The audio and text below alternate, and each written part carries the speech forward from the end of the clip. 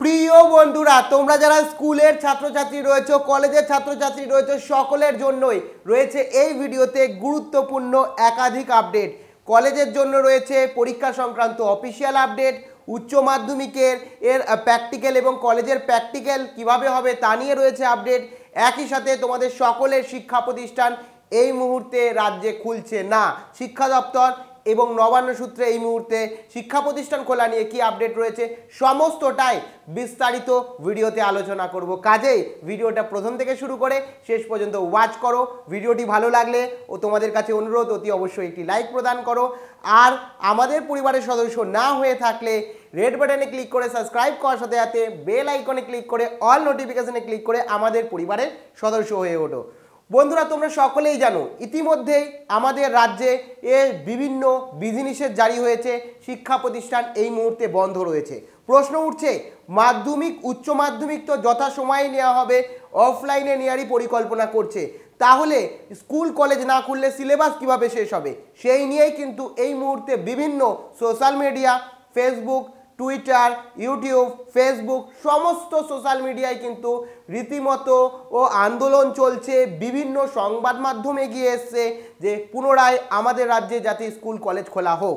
এবং এই মুহূর্তে কি তথ্য রয়েছে সম্পূর্ণটাই জানাব তার আগে। এ স্কুলের যে প্র্যাকটিক্যাল পরীক্ষা রয়েছে, উচ্চ মাধ্যমিক যারা রয়েছে, তোমাদের প্র্যাকটিক্যাল পরীক্ষা রয়েছে। এ তোমাদের প্র্যাকটিক্যাল পরীক্ষা শুরু হবে উচ্চ সংসদের বিজ্ঞপ্তি অনুযায়ী পনেরোই ফেব্রুয়ারি থেকে। এক্ষেত্রে তোমাদের প্র্যাকটিক্যাল ক্লাস বা প্র্যাকটিক্যাল সিলেবাসও সম্পূর্ণ সকলের কমপ্লিট হয়নি এবং পরীক্ষা অফলাইনে হবে না অনলাইনে হবে সে নিয়েও কিন্তু বিভিন্ন জল্পনা রয়েছে। এই মুহূর্তে উচ্চ মাধ্যমিকের প্র্যাকটিক্যাল পরীক্ষা নিয়ে একাধিক প্রশ্ন উঠছে কারণ শিক্ষা প্রতিষ্ঠান বন্ধ প্র্যাকটিক্যাল ক্লাস হয়নি অনলাইনে ভার্চুয়াল প্র্যাকটিক্যাল ক্লাসের বন্দোবস্ত করছে উচ্চশিক্ষা সংসদ এবং সেটা একত্রিশে জানুয়ারির মধ্যে প্রচেষ্টা রয়েছে। তারই মাঝে আর পনেরো দিনের মধ্যেই এই তোমাদের প্র্যাকটিক্যাল পরীক্ষা রয়েছে প্রত্যেকটি স্কুলে অফলাইনে কিন্তু সেই পরীক্ষা সম্ভবত অনলাইনে হওয়ারও সম্ভাবনা রয়েছে যেটা এই মুহূর্তে সংবাদ মাধ্যম সূত্রে উঠে আসছে। তো কাজেই তোমাদের যে পরীক্ষা, সেই পরীক্ষা অনলাইনে বা ভার্চুয়ালি হতে পারে। তোমাদের ফাইনাল যে পরীক্ষা, সেই পরীক্ষা অফলাইনে হবে, নিশ্চিতভাবে বলে দেওয়া হয়েছে। মাধ্যমিক, উচ্চ মাধ্যমিকের কিন্তু উচ্চ মাধ্যমিকের প্র্যাকটিক্যাল পরীক্ষা নিয়ে এই মুহূর্তে বিভিন্ন প্রশ্ন উঠছে, যেটা অনলাইনেও হতে পারে, সংবাদ মাধ্যম তুলছে, সংবাদ মাধ্যম বলছে, তোমরা জিজ্ঞাসা করেছিল, তোমাদেরও শেয়ার করলাম। পরবর্তীকালে অফিসিয়াল কোনো আপডেট আসলে জানিয়ে দেবো। কিন্তু কলেজের যে প্র্যাকটিক্যাল ক্লাসেস রয়েছে বা প্র্যাকটিক্যাল পরীক্ষা রয়েছে, সেটা কিন্তু সম্পূর্ণ অনলাইনেই হবে ব্লেন্ডেড মোডেই হবে, যার বিজ্ঞপ্তি আমরা পেয়েছি। একই সাথে কলেজের পরীক্ষা নিয়ে তোমাদের অনেকের জিজ্ঞাসা ছিল, যারা বর্ধমান ইউনিভার্সিটির ছাত্রছাত্রী আছো, তোমাদের জন্য অফিসিয়াল আপডেট বেরিয়ে গেছে। এখানে তোমরা অফিসিয়াল নোটিশ দেখতেই পাচ্ছ তোমাদের কবে থেকে অ্যাকচুয়ালি পরীক্ষা শুরু হচ্ছে। পঁচিশ এক দু অর্থাৎ পঁচিশ তারিখ থেকেই তোমাদের এর বর্ধমান ইউনিভার্সিটির পরীক্ষা হচ্ছে এবং সেটা ভার্চুয়াল অনলাইনে হচ্ছে। তার নোটিশ কিন্তু প্রকাশিত হয়ে গেছে। তোমরা যারা ডিটেলস জানো না রুটিন জানো না, তোমরা বর্ধমান ইউনিভার্সিটির অফিসিয়াল ওয়েবসাইট থেকে এই নোটিশটি ডাউনলোড করে দেখে নিতে পারো, তোমার পরীক্ষা কবে হচ্ছে। এছাড়া তোমরা যারা কল্যাণী ইউনিভার্সিটি ছাত্রছাত্রী ছিল, তোমাদেরও কিন্তু রুটিন বেরিয়ে গেছে এবং তোমাদেরও এক্সাম যে ভার্চুয়ালি হচ্ছে, তোমরা সেখান থেকে জানতে পারছ অনলাইনেই সমস্ত কিছু হচ্ছে। এবং তোমাদের প্র্যাকটিক্যাল পরীক্ষা নিয়ে যে প্রশ্ন ছিল, যে প্র্যাকটিক্যাল পরীক্ষা কীভাবে হবে, তোমাদের প্র্যাকটিক্যাল পরীক্ষাও কিন্তু ব্লেন্ডেড মোডে হবে, যেটা অফিসিয়াল বিজ্ঞপ্তিতে মেনশন করা হয়েছে। কাজেই তোমাদের যারা কলেজে পড়ছো, তোমাদের যে প্র্যাকটিক্যাল পরীক্ষা আছে, সম্পূর্ণ অনলাইনে ব্লেন্ডেড মোডেই হচ্ছে। এরপরে সব থেকে বড় চর্চিত বিষয় আমাদের রাজ্যে শিক্ষা প্রতিষ্ঠান খোলা নিয়ে। স্কুল প্রত্যেকের জন্য খুলছে না। কলেজ কি প্রত্যেকের জন্য খোলা হবে? যেমনটি বললাম, এই মুহূর্তে আমাদের রাজ্যে একাধিক সংগঠন এগিয়ে আসছে, শিক্ষা প্রতিষ্ঠান খোলার ব্যাপারে বিভিন্ন রকম ক্রিয়াকলাপ করছে যাতে শিক্ষা প্রতিষ্ঠান খুলে দেওয়া হোক। বিভিন্ন মানুষ, বিভিন্ন অভিভাবক, বিভিন্ন স্টুডেন্টরা অংশগ্রহণ করছে শিক্ষা প্রতিষ্ঠান খোলার পক্ষে। ইতিমধ্যে এ আরও বড় বড় কিছু সংস্থাও কিন্তু এগিয়ে আসছে। যেমন এ বিপিটিএস সংগঠন যারা রয়েছে, তারাও দাবি জানাচ্ছে পুনরায় যাতে শিক্ষা প্রতিষ্ঠান ওপেন করে দেওয়া হয়। এমনকি প্রত্যেকটা শিক্ষক সংগঠন থেকে সকলেই চাইছে শিক্ষা প্রতিষ্ঠান ওপেন করে দিতে। কিন্তু তোমাদের মধ্যে অনেকেরই প্রশ্ন রয়েছে, সকলের জন্য কি এবার শিক্ষা প্রতিষ্ঠান খুলবে?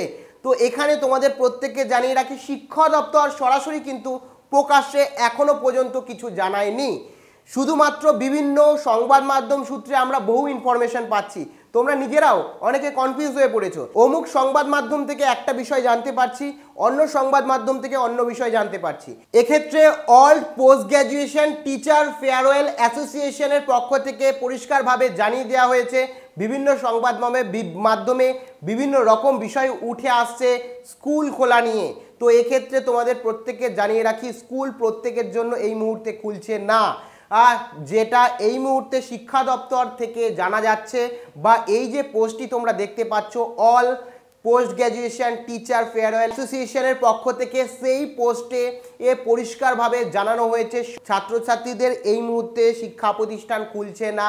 যারা নবম থেকে দ্বাদশ শ্রেণির ছাত্রছাত্রী রয়েছে, যাদের ভ্যাকসিনেশন কমপ্লিট হয়েছে, তাদের নিয়েই এই কোভিডের পরিস্থিতিতে শিক্ষা প্রতিষ্ঠান ওপেন করার পরিকল্পনা চলছে শিক্ষা দপ্তরের।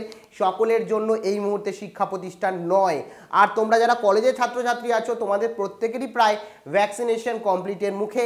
সেক্ষেত্রে তোমাদের শিক্ষা প্রতিষ্ঠান তো ওপেন হবেই। অর্থন যদি নবম থেকে দ্বাদশ শ্রেণির ছাত্রছাত্রীদের স্কুল খোলা হয়, সেক্ষেত্রে কলেজ তো অতি অবশ্যই তোমাদের খুলে যাবে।